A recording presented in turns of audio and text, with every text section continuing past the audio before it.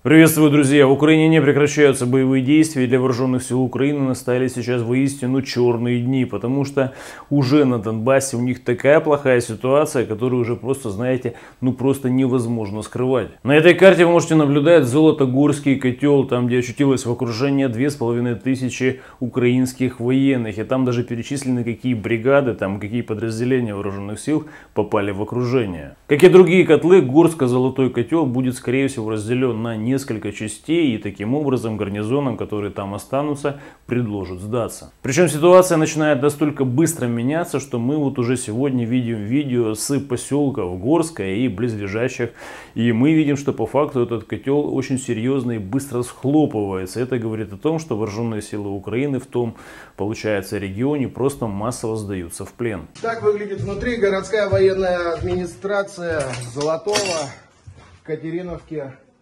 Информация по сдаче в плен украинских военных подтверждается и российскими военными корреспондентами, которые выкладывают видео с украинскими пленными. Но тем временем командующий вооруженных сил Украины Залужный заявил, что Теперь украинская армия на Донбассе начинает переходить на тактику маневренной обороны. Видимо, так называется отступление либо бегство. Особенно с учетом того, что ситуация не только сложная в Горско-Золотом котле, там где вооруженные силы Украины просто полями сейчас пытаются разрозненными группами каким-то образом скрыться и выскочить с этого котла, а похожая ситуация уже накручивается вокруг города Лисичанск. И пока ставленник Зеленского по Луганской области рассказывает, что что якобы уже вооруженные силы Украины получили приказ выходить из промзоны, которая расположена рядом возле города Северодонецк, по факту уже э, все дороги, которые идут в Лисичанск, они перекрыты. Таким образом очутились в котле уже, знаете, группировки украинских войск, которые стоят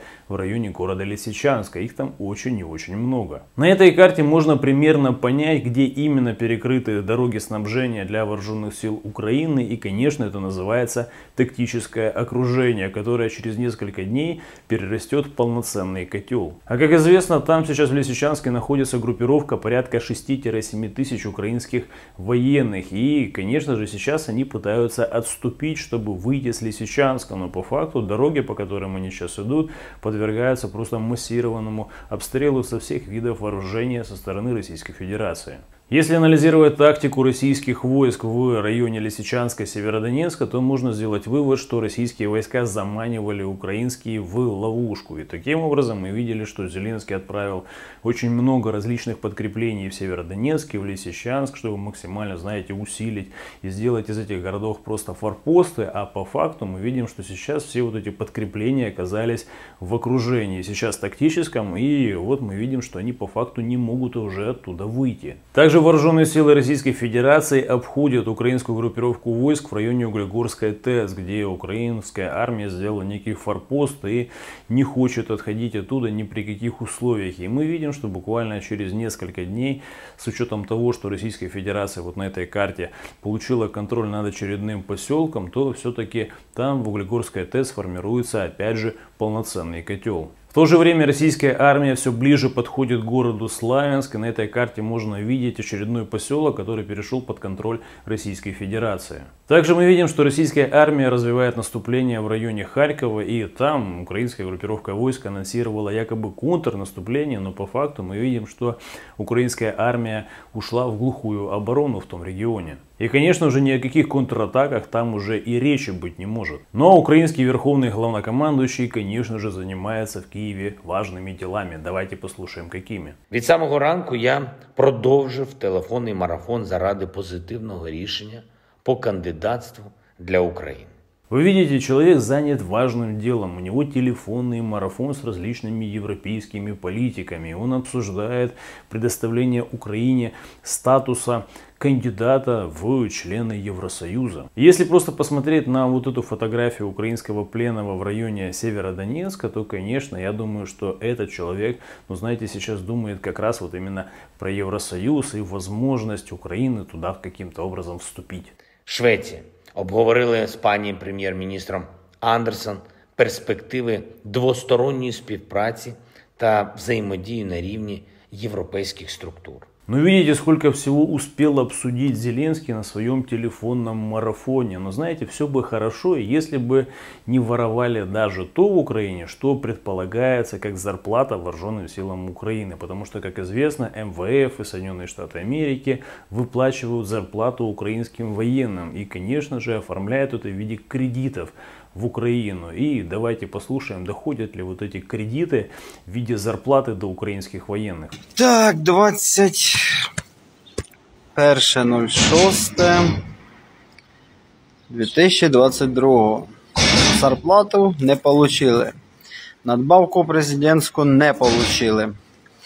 Обіцяли до 20-го виплатити все. Ну це ж крайній срок. Уже 21 блядь, а нам кажуть, ждіть, чекайте. К сожалению, я не могу здесь опубликовать полное видео. Полное видео у меня опубликовано в телеграм-канале. Ссылка на мой телеграм-канал в описании, первым комментарием под видео. Переходите, смотрите, там еще много интересного. Конечно, многие граждане Украины думают, что все то, что происходит сейчас, это какая-то случайность. И что это не было, конечно же, запланировано. Но по факту давайте просто сейчас вернемся в 1997 год.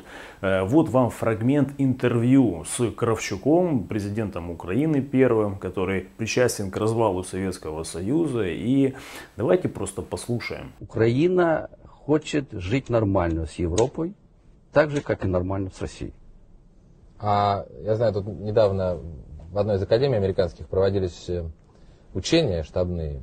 Ну а теперь давайте послушаем про сценарий вот этих штабных учений вооруженных сил Соединенных Штатов. И там э, гипотетически 2025 год э, разрабатывается ситуация, что Россия воюет, э, Америка воюет с двумя государствами, Китаем и Россией, и причина войны как раз то, что Украина начала войну с Россией на стороне НАТО. Ну а теперь давайте зададим себе же элементарный вопрос. Откуда в 1997 году Соединенные Штаты Америки в своем генштабе знали о событиях в Украине 2022 года? Так считают в России тоже, как и в Америке, что Россия может начать воевать с Украиной, если Украина в НАТО, а Россия нет. Причем настолько точно смоделирована вся эта история с учетом того, что Украина реально поддержала НАТО в этом конфликте. Отсюда делаем опять же элементарный логический вывод, что если знали тогда, в 1997 году, значит это планировали, значит создавали ситуацию, при которой такой сценарий будет единственно вероятным. И, конечно, если каждый украинец просто немножко покопается в памяти, то, конечно, всплывут факты касательно работы различных американских грантовых структур, конкретно еще, знаете, с тех далеких 90-х годов. И, конечно, работа их была нацелена исключительно на то, чтобы сделать из России врага. Но с учетом того, что в Российской Федерации есть гигантский ядерный потенциал, то, конечно, подобного рода конфликт моделировали с учетом не ядерного противостояния и просто из Украины, из всего украинского народа готовили армию против России. Причем в Украине ситуация доходит сейчас до маразма, потому что вот уже официальные лица Зеленского заявляют, что вот на тех территориях, которые контролирует Российская Федерация, учителям, которые там остались, э, власть Зеленского решила платить за то, чтобы эти учителя не учили граждан Украины, которые там проживают, в Херсонской, в Запорожской области. Вы только вдумайтесь в эту формулировку. Платить деньги, чтобы не учили украинских детей математики, физики, химии там, и так далее. То есть это осознанное, по сути, действие, которое направлено на вот, уничтожение потенциала даже детей, которые сейчас находятся на территории Херсонской и части Запорожской области. Поэтому сейчас Российская Федерация по всей России ищет учителей, которые будут ехать туда, в те регионы и учить украинских детей. И платят этим учителям в 3-4 раза больше, нежели в России. Но если все-таки в отношении украинских школьников Российская Федерация все-таки готовится к тому, чтобы с 1 сентября они получали образование, то вот с украинскими фермерами ситуация другая, потому что у них сейчас начинает пропадать урожай. С учетом того, что, конечно же, логистика с Украиной нарушено, то рынки сбыта сейчас украинские закрыты для аграриев с того региона.